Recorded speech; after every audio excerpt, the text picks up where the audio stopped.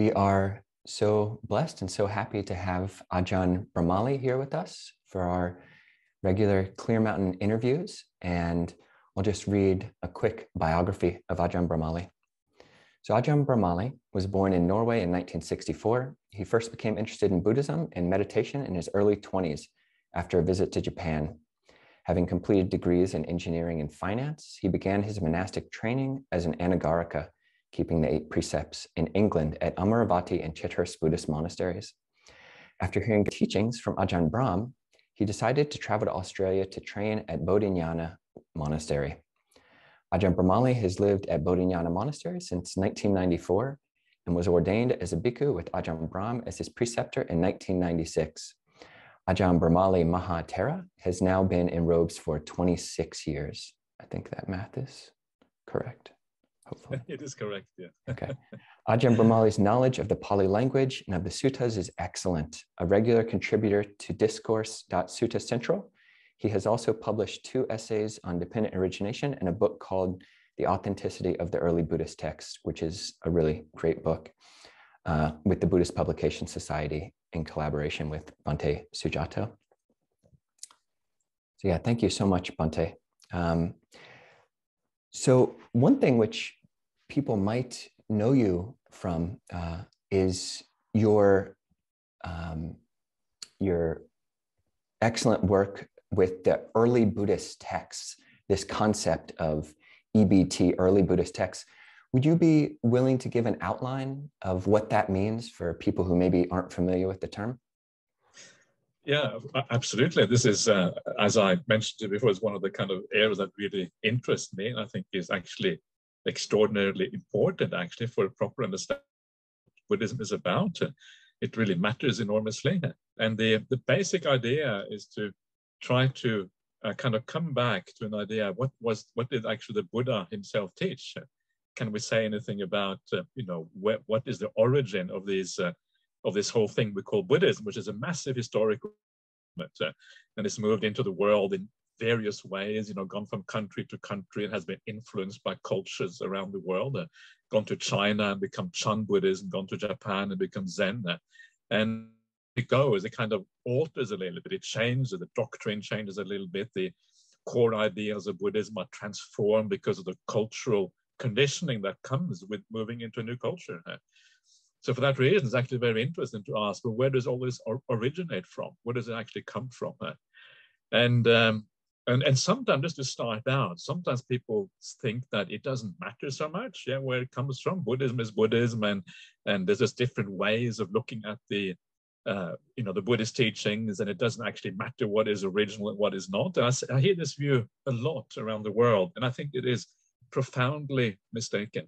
I mean very very seriously mistaken and the reason for that is because buddhism is about a particular insight into reality yeah, and that insight is an understanding really of non-self. And either you have that insight, yeah, you have it fully and completely, yeah, or you haven't.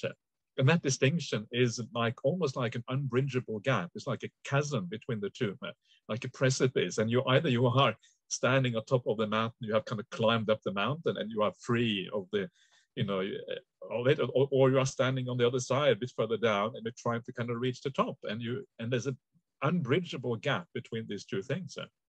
And so that, um, because, and this is how it is basically talked about in the suttas, yeah, stream entry is this kind of big bang where you kind of, that you never forget in the rest of your life, as it says in the suttas, you always remember where that happened. And um, uh, because of that, uh, uh, it actually matters enormously whether you have that insight or you haven't. Uh, one side, the ones who have the insight will understand what the Buddhist teaching is about. Uh, the other side will have some idea, but they will also have a certain degree of wrong view because they haven't actually seen the teachings fully yet. Uh, and so, uh, you know, and so the question of who has this insight and who hasn't actually, for that reason, matters enormously. Only those people who have that full insight uh, will be able to teach Buddhism fully and completely. The other ones will very likely to make mistakes because they haven't got the full right view right yet. And so then we have to ask, well, who are the people who have this insight?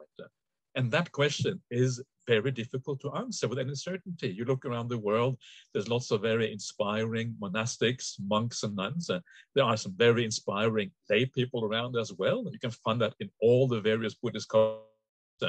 But it's very hard to be certain that they have that full insight.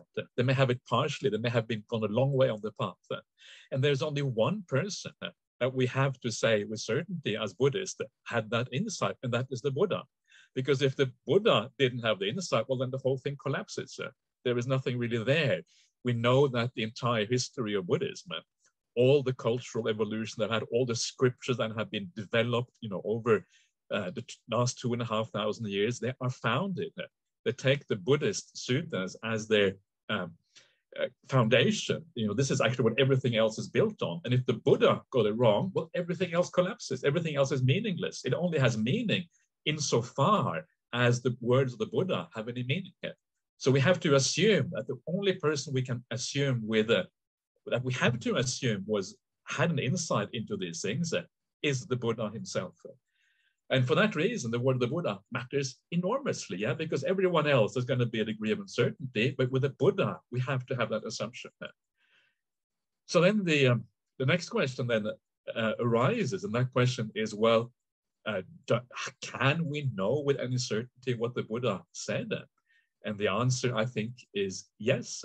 And the reason we can say that is because there are certain teachings in Buddhism that are universal. Yeah, you find them in all the various strands of Buddhism.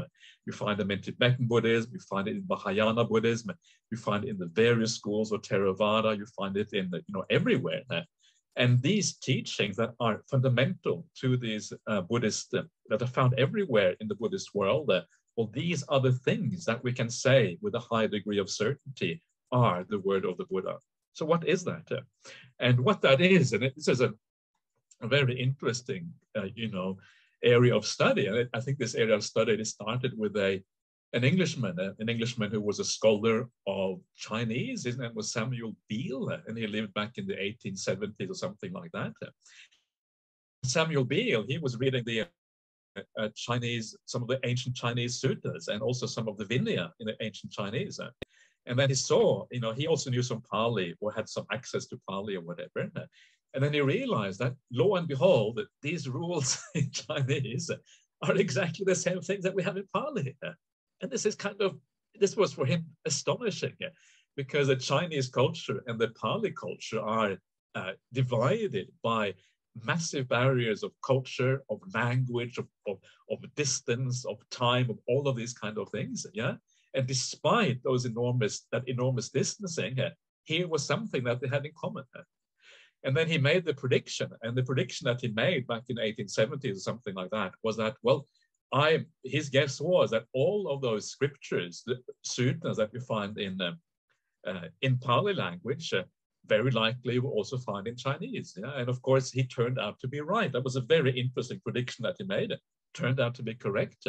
And uh, so what you find then is that uh, uh, the are in common with Chinese Buddhism or Chinese, you know, Chinese, the whole history of Chinese Buddhism.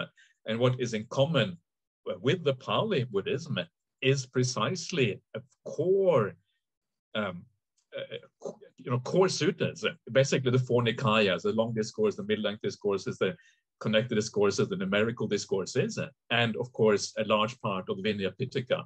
This is what is in common between these two vastly different cultures. And then as time has gone by, as we have studied these things more, we have realized this is not just the case between Buddhism and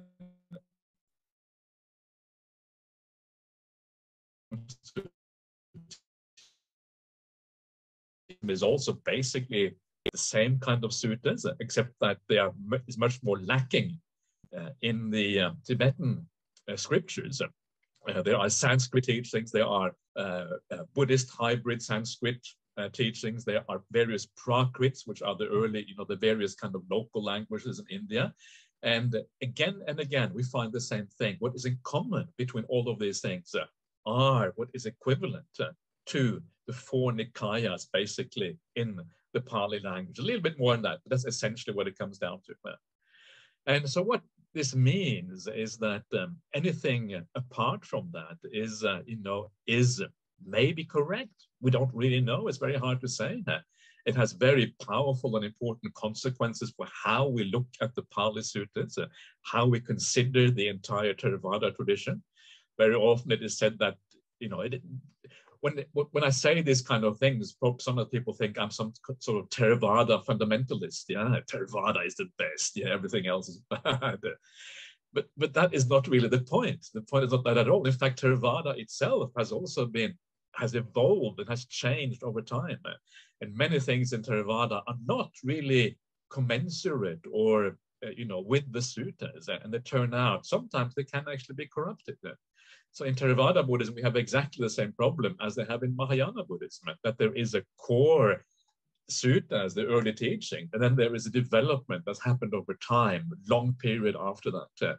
And um, so we too can actually benefit enormously from this kind of distinction between the earliest teachings, uh, which are clearly in common between all the various schools and all the various traditions, uh, and later addition, which includes the Abhidhamma, yeah, the thing which is often said to be the highest expression of the Buddhist teachings, uh, turns out to be maybe not, probably not the Buddhist teachings at all. Yeah, and that's kind of an eye opener. Or, of course, things like the Visuddhimagga, which is considered the by many the kind of greatest meditation manual, yeah, in the Buddhist world. Or, of course, everything else that has been, uh, uh, you know, um, come down to us after long time after the Buddha. All of that is, it may not be wrong, but it is dangerous to rely on those things, and especially dangerous to take those and give those precedent precedence over the suttas, that is especially dangerous. Anyway, I better stop there, but I there's there's probably more to be said. But, uh,